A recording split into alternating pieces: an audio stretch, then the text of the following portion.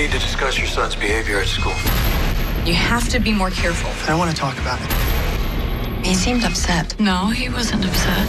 You're gonna try and convince me you knew nothing about what was going on? Where'd you hide it? I don't know what you're talking about. I think you know what I'm looking for. You need to dial it down before I get truly annoyed.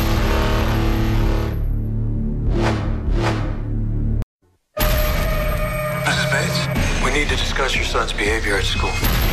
You have to be more careful. I don't want to talk about it. He seemed upset. No, he wasn't upset. You're gonna try and convince me you knew nothing about what was going on?